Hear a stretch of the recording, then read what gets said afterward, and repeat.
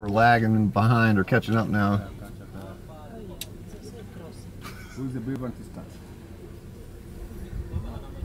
I think it's before those cars. That's they're gonna go down.